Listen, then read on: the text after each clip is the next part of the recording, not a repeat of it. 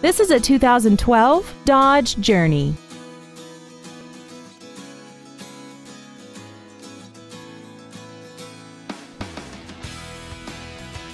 All of the following features are included.